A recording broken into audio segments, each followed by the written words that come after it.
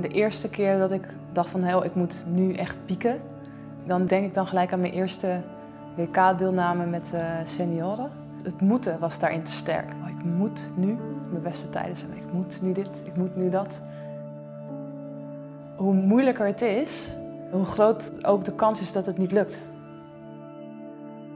Pieken werd voor mij een beetje een soort van heel zwaar beladen omdat het moet.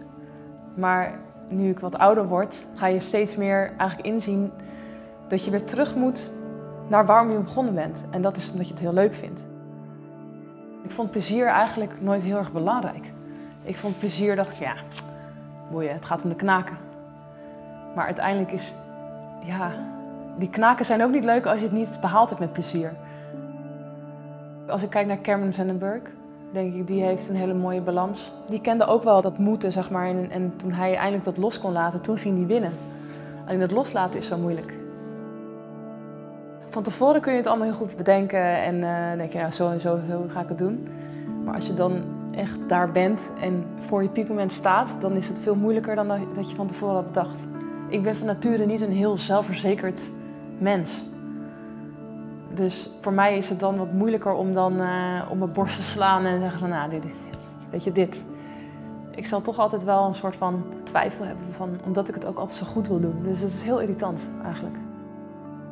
In de toernooien waar ik, waarin ik echt goed was, was ik ook heel stabiel in training. Dus was ik eigenlijk elke training die ik deed, was, was goed. Als je mentaal zo sterk bent, denk ik dat je er meer uit kunt halen dan dat je fysiek heel sterk bent en de mentale niet hebt. Maar ik denk voor de aller, allerbeste prestatie, dan zit dat als een yin en yang in elkaar.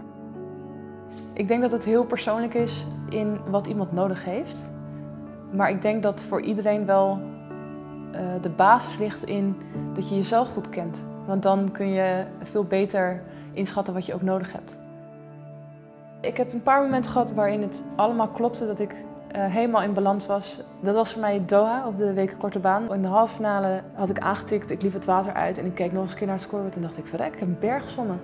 En dat was voor mij zo'n bevestiging van ik ben echt zo bezig met het proces. Ik ben zo bezig met wat ik wil doen in de race en ik ben niet bezig met wie er naast me ligt of uh, wie mij misschien kan verslaan. Ja, dat gaf mij heel veel goede kracht, maar. Dat ik wist van, zie je wel, ik kan dit wel.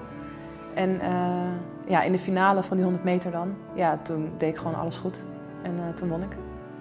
Het belangrijkste is toch wel wat je heeft getriggerd om te beginnen. En dat is dat je het leuk vindt. Dus als je weer terug kan gaan naar misschien dat onbevangen meisje die gewoon uh, haar eerste wedstrijd zwom. Ja, dat is eigenlijk het meisje die je ook wil zijn als je achter de blok staat. Ook deze dag nog. Ja, dat is toch wel echt de kern. Ja, dat zou ik dan willen meegeven.